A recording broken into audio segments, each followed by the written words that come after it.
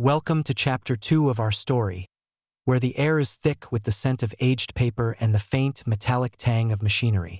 This is a world where steam-powered contraptions clank and hiss, and shadows stretch and twist, beckoning you deeper into the labyrinth of towering shelves.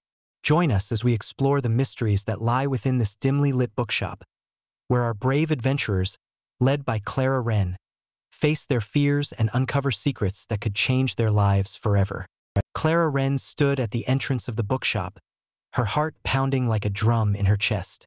The shadows seemed to stretch and twist, beckoning her deeper into the labyrinth of shelves that towered above her.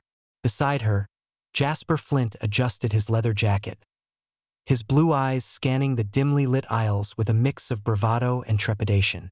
Lydia Thorne, with her vintage attire and oversized glasses, clutched a book to her chest, her fingers trembling slightly as she whispered, What if we find something? Something we can't handle? Theo, the youngest of the group, offered a reassuring grin, though his own hands fidgeted nervously at his sides. The atmosphere was thick with anticipation, each of them feeling the weight of the unknown pressing down on them. Mr. Hawthorne, the enigmatic proprietor, appeared from the shadows, his wild silver hair framing a face etched with wisdom and weariness. Ah, my brave adventurers, he said, his voice a gravelly whisper that seemed to echo through the aisles.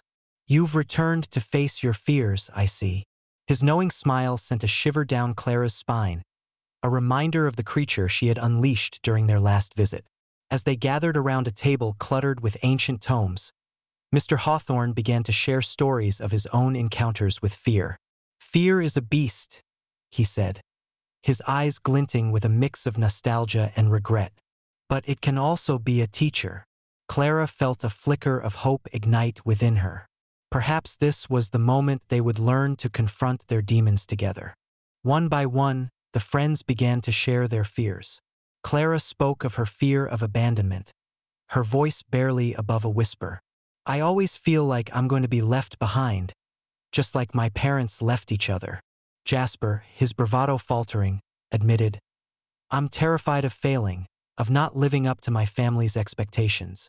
Lydia, her voice trembling, revealed her fear of the unknown, the swirling mist of uncertainty that haunted her thoughts. Finally, Theo, with a hint of vulnerability, confessed his longing for acceptance, the mirror of his insecurities reflecting back at him. As they spoke, the atmosphere shifted. The shadows in the bookshop seemed to pulse with life, and the books began to whisper secrets, their pages rustling like the wings of trapped birds. Mr. Hawthorne guided them to a shelf marked with an intricate symbol, a sigil that seemed to shimmer in the dim light. These books hold the key to your fears, he explained, his voice low and urgent. But be warned, confronting them will not be easy.